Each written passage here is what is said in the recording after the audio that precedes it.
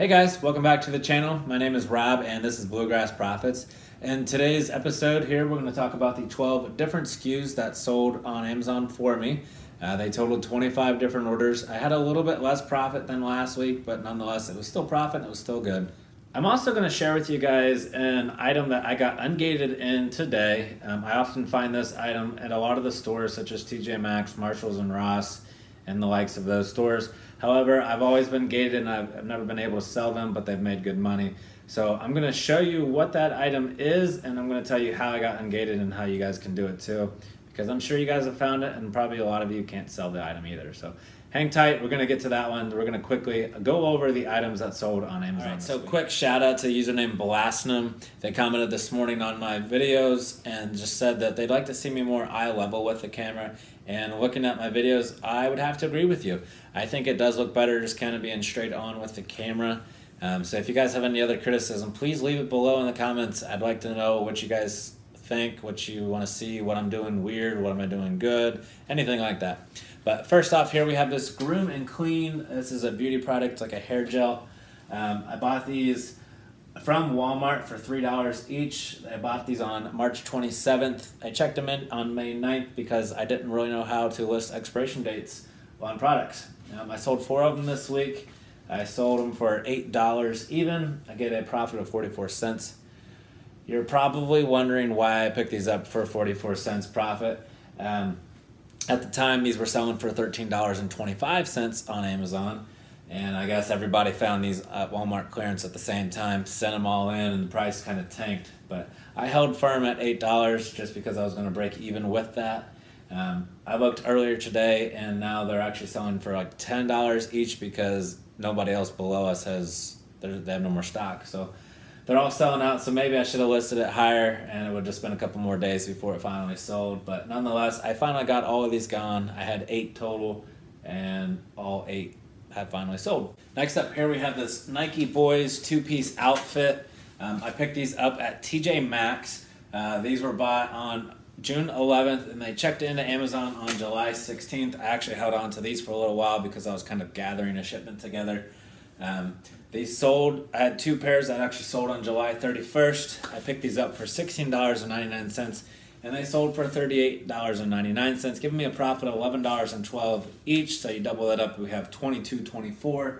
Um, that's an ROI of 61%. The one thing I have to say, guys, is like, why tank the prices when they sell? When I bought these originally, they were selling for $38.99 as and the five weeks that elapsed so many people had jumped on the listing and tanked the price all the way down into the 24s. That's kind of the reason why I held on to sending these in for so much time. So people were scrapping for one to two dollars when you wait, you know, five weeks total, and now I made eleven dollars each on these guys.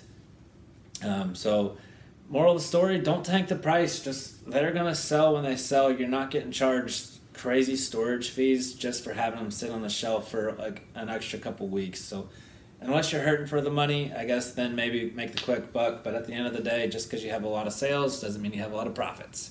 However, I'm trying to get my profits to be as large as possible.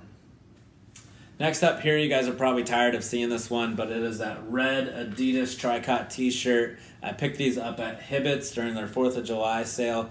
They were 50% off on all the clearance items. Again, checked into Amazon on July 16th. I had two of these sold for on July 31st. And again, I paid $9 each for these shirts, so totaling $18 I paid for. I sold these guys for $38.50, which, you know, that's $77 in sales. Profits was $18.22 each. Two of those get you to $36.44, an ROI of 202% just on these shirts. So great pickup, and they're all gone. I'm going to be upset that I didn't find more. Not going to waste too much time with this one, but these were those Godzilla toys I talked about in last week's episode. Um, I sold five of these this week. I finally have cleaned out my inventory, so I'm thankful for that. I made 57 cents profit on these guys, so I didn't lose any money. However, it wasn't a great buy. At the time, I was still making like two to three dollars on these items, and they were selling pretty fast. But as all Amazon sellers will know, that everybody starts to find an item and they kind of gravitate towards it, which everybody was doing with the Godzilla toys. I haven't looked recently to see if I can even find any more, but I know with the Godzilla toys, they're not selling near as well as they were. So this next item here is going to be very similar to last week's, however it's a different size. We have a Carter's Romper. This was in a three month size. I believe last week's was, was maybe nine months. I don't know, so don't quote me on it. Um, but I bought this on June 11th. They checked into Amazon on June, July 16th. Sold it on August 1st. I paid $7.99 for this item. I sold it for $19.99, which gave me a profit of $4.53, which is an ROI of 53%. So it's kind of funny. Last week we were talking about these white Adidas jackets, and I had mentioned how I had some blue jackets, but they have yet to sell. However, this week that one finally did. Um, again, that Hibbett's 4th of July weekend sale, where everything was 50% off. That's where this jacket came from. Checked in on July 16th with that giant order, sold for on August 2nd which I paid $13.24 for this item. Hang tight guys for just a few more of these items. There's really not that many left. Um, I'm getting ready to discuss the overall profits and then I'm gonna jump into the item that I got ungated in to sell a bunch of. Just sold the last of my Nike football skull caps. Uh, again, Hibbett's 4th of July weekend sale where I paid $3.99 for this item and I sold these guys for $24.99. The lowest seller on Amazon was 19.95, but I was FBA and they were selling for 24.95. So sometimes it pays to ship everything into Amazon FBA. But gave me a profit of $13.27 for this one skull cap. I had a total of four throughout the last couple weeks.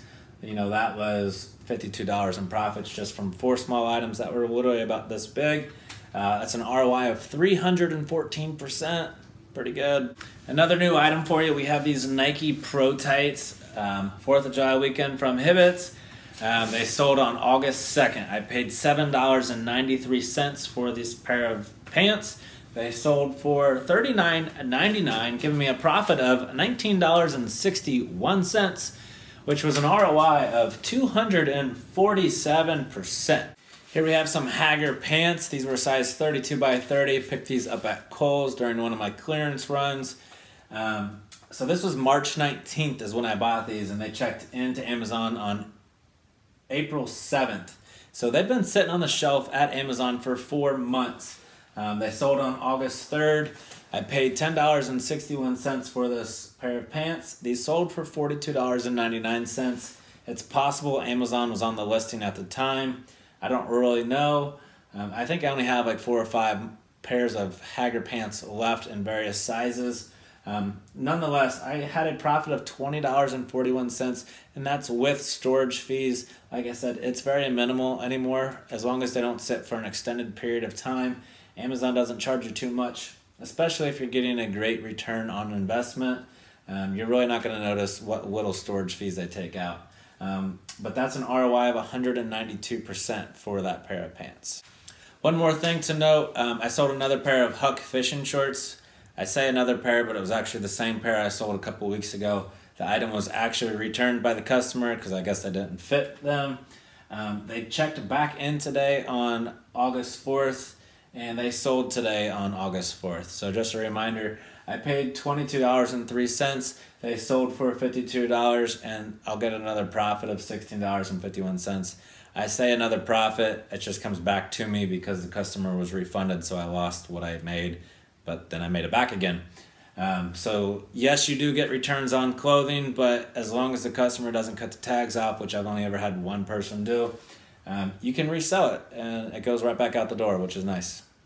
Two other items that I sold this week. I sold one more pack of those slime lickers. I think I have two left.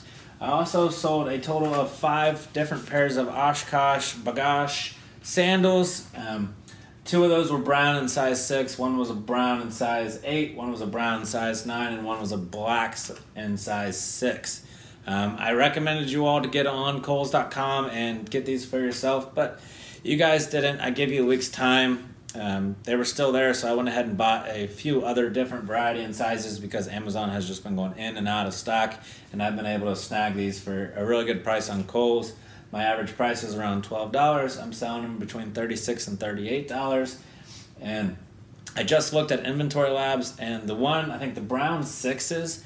I've already sold $122 of profit worth. So that's like six or seven of those, maybe even a little bit more, maybe eight to nine. I really don't know.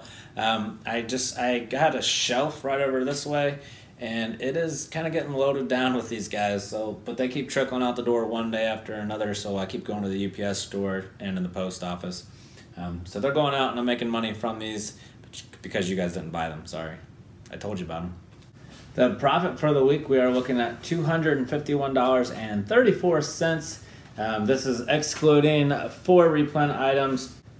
Lastly, the fun one that everyone always wants to know, at least I want to know. Um, if I was to continue to sell everything I sold on Amazon at this current rate in a one year time period, I'm looking at $13,069 in additional income.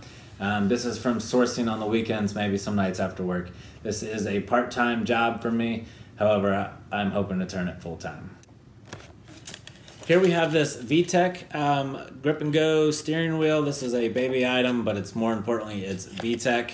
Um, this is the brand that I got ungated in today. I actually used Kohl's.com and got my invoice from there and sent it off to Amazon and they pretty much instantly approved it. I took all the right pictures. I uploaded the invoice that they sent with me. Um, Amazon was on the listing for this guy at like $11.99. Scratch that. $14.99 at the time when I bought these. Kohl's had them for $11.99. It was the cheapest VTech item that they had. So I figured I was going to actually lose some money on this, but in the long run, once I find enough VTech toys, I'll turn that uh, ungating loss into a profit. Um, but I used Kohl's Cash to buy these. I ended up getting them for $3.90 each. So I'm going to compete with Amazon at $14.99, assuming that's what they still are. Or maybe I'll wait until around Christmas time, send these in for Q4, and hopefully make a larger profit on these items. Um, but yeah, so uh, this weekend I have a big shipment I need to get out the door. It's comprised of Kohl's items, online items that I purchased um, for Ungates. Um, I'm kind of looking them right now. I also have some OA leads that I've been getting here recently. Um, assuming those start to sell, I may or may not share those with you guys because they, if they turn into replens, I'd like to keep them for myself. Sorry, um, being a little selfish here. Um, but yeah, um, so that's pretty much going to do it for this week's episode. Um, if you guys have found any value in what I shared with you, maybe it was the items that sold or maybe it was this ungating guide, please consider subscribing to the channel. Um, it would mean a lot for me as we are rapidly climbing subscribers. We are approaching that well, probably 700 mark at this point in time. Again, smash that like button, and I will see you guys on the next week's video.